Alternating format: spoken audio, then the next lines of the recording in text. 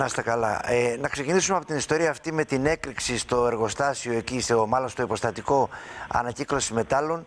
Ε, φαίνεται ότι ανάμεσα στα μέταλλα που πήγε ο κύριος εκεί ήταν και είχε περισυλλέξει από το πεδίο βολής και κάποιο ε, υπόλοιπο βλήματος, κάποιο βλήμα. Τι ακριβώς συμβαίνει, τι ακριβώς έχει γίνει; Ναι, να πούμε ο 68χρονος ε, κ. Δημητρόπουλου χθες το πρωί γύρω στις 7 και 15 είχε μεταβεί σε συγκεκριμένο ε, υποστατικό το οποίο βασικά είναι μια εταιρεία περισυλλογής παλαιών μετάλλων για να πωλήσει κάποια παλαιά μετάλλα. Φαίνεται ότι ανάμεσα σε αυτά υπήρχε ένα αντικείμενο το οποίο όταν παραλήφθηκε από τους δύο υπαλλήλους, ε, ενός 50χρονου και ενός 55χρονου, ε, φαίνεται ότι όταν το είχαν ε, ρίξει σε σωρό μετάλλων είχε προκληθεί μια έκρηξη με αποτέλεσμα τόσο 68χρονος αλλά και οι δύο υπάλληλοι να τραυματίστηκαν και τρεις στο Γενικό Νοσοκομείο της πόλης, ε, όπου οι δύο 68χρονος και 55χρονος είχαν χειρουργηθεί για να αφαιρεθούν κάποια αντικείμενα τα οποία ε, τους είχαν ε, τραυματίσει εν περιπτώσει από την έκρηξη αυτή. Ε, Όπως και ο τρίτος, ο οποίος επίσης μεταφέρθηκε όπως έχουμε δει στο νοσοκομείο. Ευτυχώς είναι και οι τρεις ε, εκτός κινδύνου. Ε, όσον αφορά το αντικείμενο αυτό, κύριε Δημητρόπουλε, λόγω του ότι από τη μια έχει καταστραφεί ολοσχερός και από την άλλη ε, ο ίδιος 68χρονος δεν ήταν σε θέση, λόγω και της κατάστασης της υγείας του, να δώσει με λεπτομέρεια τις ε, λεπτομέρειες μας περιπτώσει ε, όσον αφορά και για το αντικείμενο και από πού προήλθε. Ε, αν και υπάρχει μια κατεύθυνση... Μπορεί να είναι από το πεδίο βολής, δηλαδή το αντικείμενο.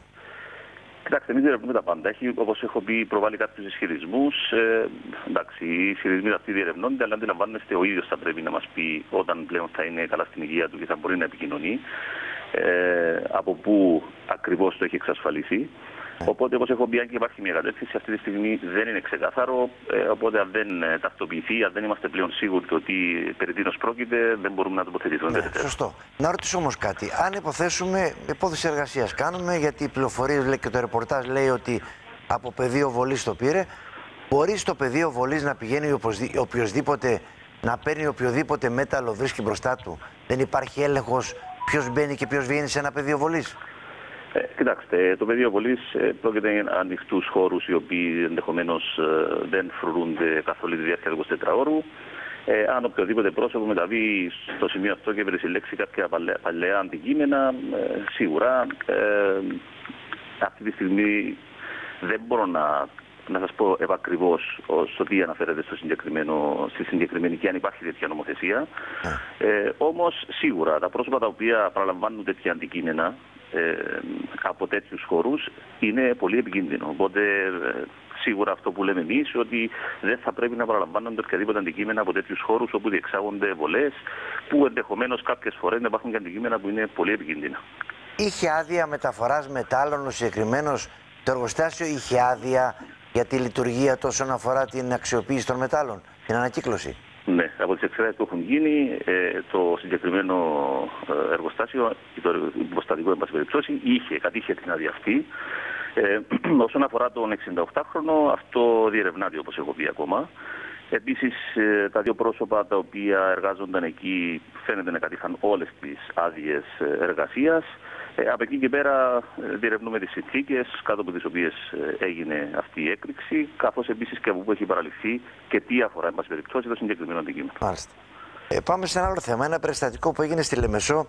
Ε, έγινε ένα επεισόδιο μέσα στο δρόμο.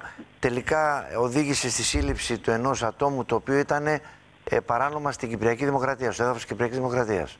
Ένας αλλοδαπός.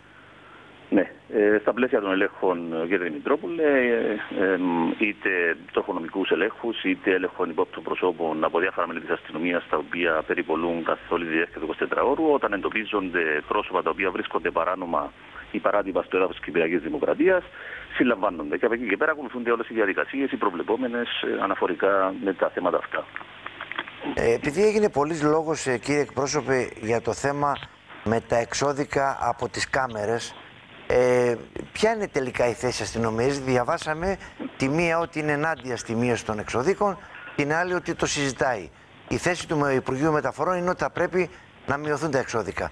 Η θέση της αστυνομίας ποια είναι; Εντάξει, όσον αφορά το δημοσίευμα, το έχουμε διαψεύσει χθες. Η επίσημη θέση της αστυνομίας ε, αναφέρεται και καταγράφεται στο σχετικό, στη σχετική ανακοίνωση που δώσαμε χθες.